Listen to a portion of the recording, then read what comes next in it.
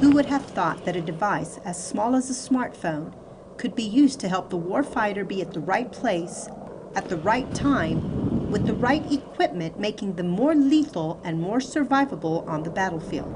Captain Grulich, company commander of 135 and his team, raid a mock village, but not before strategic planning facilitated by the use of the Nett Warrior system.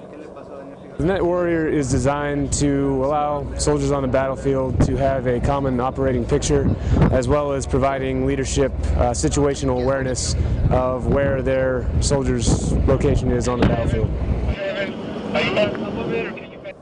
The Nett Warrior system is a handheld end-user device equivalent to a smartphone. It is designed to provide situational awareness to dismounted troops during combat operations. It allows for faster and more accurate decision making during the tactical fight and connects the dismounted soldier to the network. It makes planning so much faster, especially downrange. There's a lot of things that just happen just spur of the moment. We probably had maybe 15 to 20 minutes to plan as far as the platoon goes every before every mission.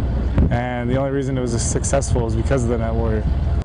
The Army has come a long way from a compass and map and is taking full advantage of advanced networking technology to enhance the proficiency of mission accomplishment and at the same time decrease the loss of lives out on the battlefield.